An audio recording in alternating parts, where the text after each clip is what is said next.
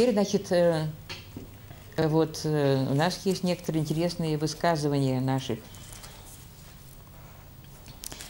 Соловьев там сказал, что э, Москва создана татар, это Моско, Великое Московское царство, она создана татарами. Косвенно, да, потому что почему бежали в Москву, почему Москва, какую роль Москва отыграет, почему Киевская Русь бежала в ту сторону, на север. Киевская Русь бежала из степи в лес. По лесу татарская конница не проберется. А, а Москва была за лесами, за глухими лесами. И поэтому там выросло три поколения людей, которые не знали мистического ужаса крови перед татарами. Поэтому они пошли на эту битву Куликовскую в 1380-м при Дмитрии Донском. М? А вот эти богатыри, они правда были, которые вот мы знаем? Которые... Знаете что, я, откуда же, да все правда, я думаю, это было. Такие были люди. Но здесь мысль-то вот какая, что ты перестал бояться. Ты перестал смотреть на них, как на, ну, вот, понимаете, налетают, исчезают. Тут ужас. А ты начинал смотреть, ага, вот их слабые места, вот мы их знаем, мы их узнали уже. Тем более многие христианство приняли, тем более правитель приголубил, поселил в Кремле их цвет. В общем, много было таких политических моментов. Церкви они хранили, церкви роль свою объединительную сыграли.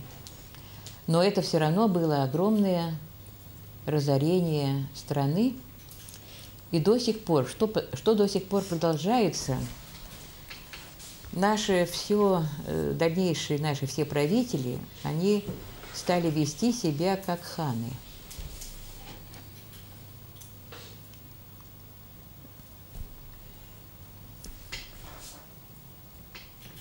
Казнить народ, уничтожать целые селения. Грозный я имею в виду, Петр я имею Никакой хан так не разорял, как они разоряли. Это, то есть, понимаете ли, они оставили такой вот след, такой э, прецедент, прецедент.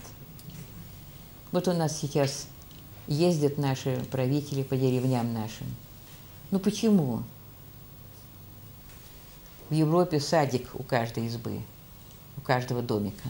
Домики все, коттеджи там, они домики. У нас непременно лужа. Ничего не растет около домика. В огороде лук растет. Понимаете ли? Это все с тех пор. Сначала налетали ханы, все топтали, выдергивали. Но потом, вы знаете, в том же плане действовали правители. Вспомните все эти продразверстки. Налетают и отбирают все последнее зерно. Вспомните там времена там, Хрущева, который обложил налогом яблони и, и эти вишни. Порубили всех. У нас никак не обрасти, у нас никак не успокоится. У нас никогда нет гарантии. Сейчас, пожалуйста, что-то решили дорогу прокладывать. Да тьфу тебе на этих людей, которые тут живут. Сколько уже печальных вещей нам с этого, с, с, сочинских просторов. Вы понимаете, что ну, нет уважения к отдельному человеку. В принципе нету. Единица вздор, единица ноль. И это все коренится в нашей истории.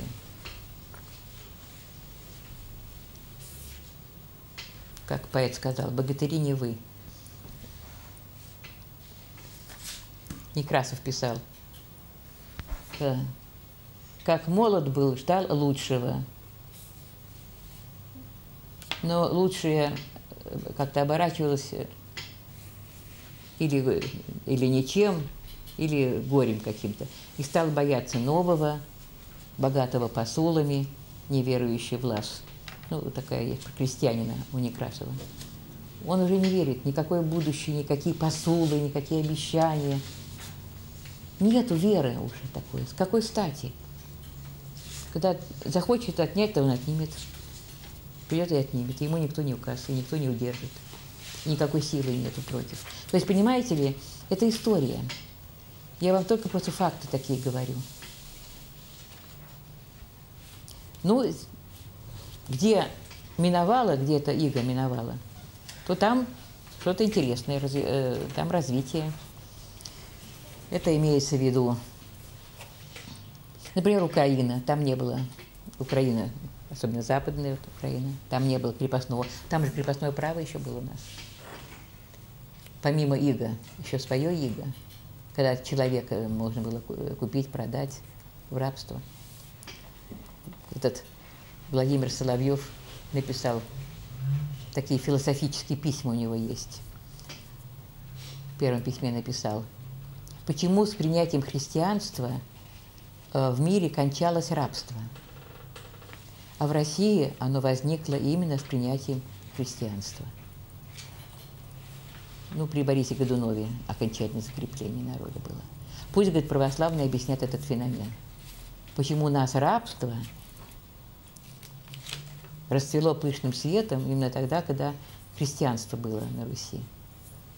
Пускай нам и объяснят это. Понимаете как?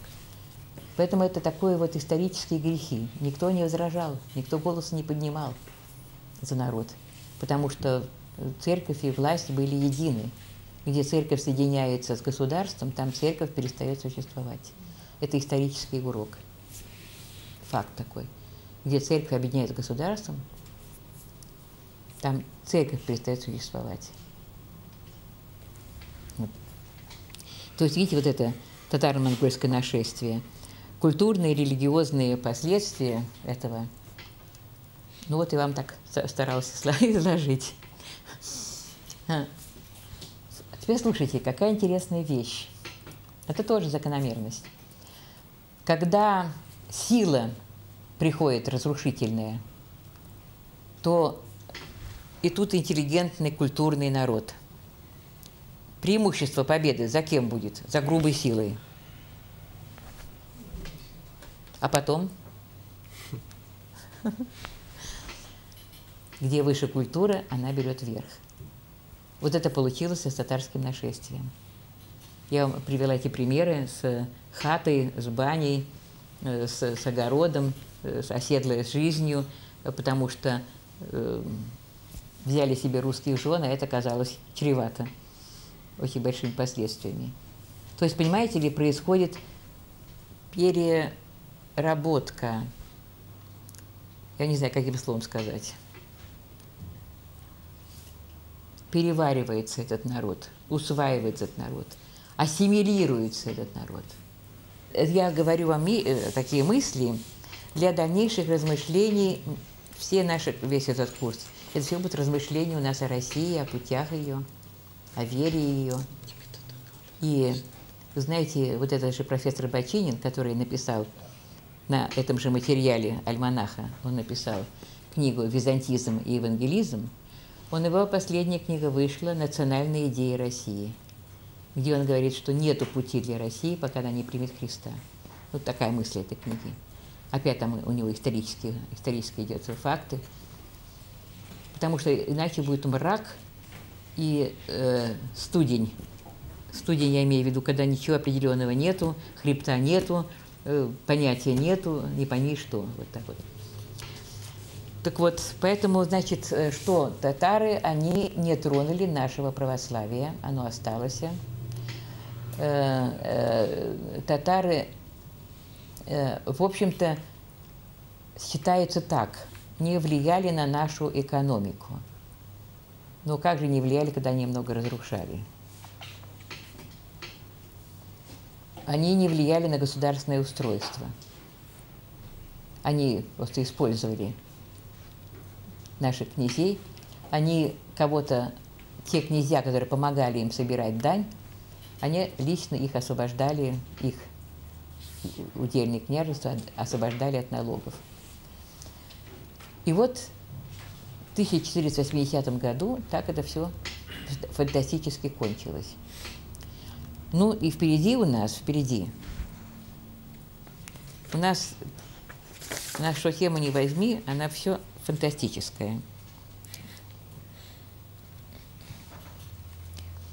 Нашествие, оно задержало развитие России в, каком, в каких э, отношениях. Вы знаете ли, развитие Европы шло городами. Строились города, и каждый город становился государством. Ну вот в Швейцарии, это я сама своими глазами видела, каждый город – это как государство. Маленькая Швейцария, крохотная. Но там сколько-то кантонов, кантоны какие-то административные деления, в каждом кантоне свой язык, своя деньга, свои законы и э, свои центры. Я жила и училась я в швейцарской семинарии баптистской, летние курсы, летнее обучение. И э, в Цюрихе, около Цюриха, это была немецкая часть, Цюрих был центром. Но э, была, было другое место, Женева была центром, понимаете? Или, или Страсбург был центром. Так вот, это вообще принцип развития Европы городами. В городе развивалось ремесло, были гильдии, то есть были объединения ремесленников, которые защищали свои права, ну, как, бы, как профсоюзы. Э, каждый город был независим и дееспособен. Если бы даже всю страну взяли враги, у него есть своя промышленность, свои источники провианта, свои, понимаете как?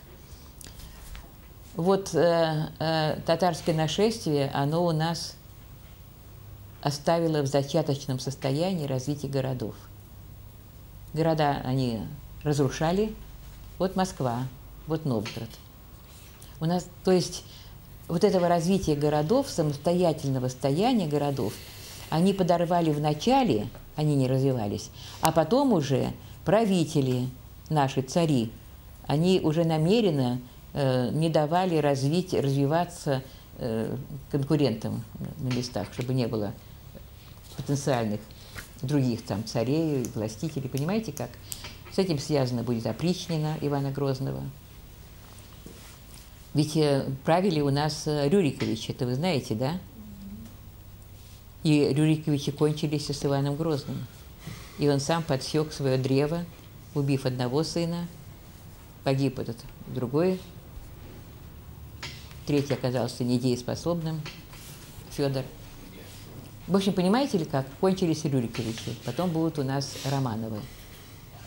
Но вот Рюриковичи, это же были все одна семья – и поэтому произошло вот это страшное дело, когда Иван Грозный уничтожал своих сородичей, чтобы не было никого в этом роду Рюриковичей. Это единственный царь во всем мире, который уничтожил один класс, бояр, и насадил другой класс, дворян. Вот. Ну, это мы в связи с Иваном Грозным, потому что там во время Ивана Грозного тоже будут движения у нас, мы будем об этом говорить. Приглашаем вас принять участие в глобальном проекте по распространению Евангелия и расширению библейского образования. От нас зависит, будет ли христианское образование доступным. Поддержите наш проект молитвой и финансами. О чем молиться и как пожертвовать, вы можете узнать на сайте www.tvseminary.com. Вот это, значит, э, значение нашествия. Оно это нашествие э, задержало наше развитие как государства. И теперь слушайте, какое еще значение имело это нашествие. Важнейшее. Ведь э, мы эти орды не допустили до Европы. Об этом тоже письмо, в письме Чаадаев пишет, в этом первом. Россия спасла Европу от э, разорения, от татарского нашествия. Они через нас не перемахнули. На этих просторах они у нас закончились. Вы понимаете ли, так была заложена интереснейшая традиция для нашей страны, ее предназначение даже – это защищать Европу. Мы не допустили наполеоновского вторжения, вернее, справились с Наполеоном, который захватил всю Европу, потом с Гитлером.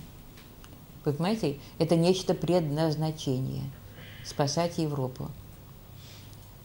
И у меня, если так геополитически мыслить, у меня понимание такое, что с момента образования Европы, христианизации ее, Бог спас ее от э, арабов. Арабы не, не, э, не завоевывали ничего в Европе. Они были остановлены в Испании, они были остановлены в Византии, эти клещи. Они же захватили весь мир, арабы. И вот эти клещи могли сомкнуться, крак, и Европа бы не стала. Вот с одной стороны и с другой стороны. Они были остановлены тоже фантастическим образом, не допущены дальше. И Бог начал заниматься Европой. Там будут развитие городов, промышленность, национальных государств, там будет развитие вот всего того, что я прочитала административное устройство, структуры социальной защиты. То есть, понимаете, там будет все это обдумано, и, а, а, это у Европы. И я нашла в Библии такие обоснования. Помните, Израилю говорит Господь, отдам другие народы за тебя. Отдам другие народы за тебя. Но потом наступит время, апостол Павел напишет Римлянам 11 главе, что народ отвержен, пока не войдет полное число язычников. То есть его Бог отдал за нас. Понимаете, вот этот принцип искупительности, он очень сильно действует. Ну вот, значит, э, на этом у нас сегодня тема наша заканчивается –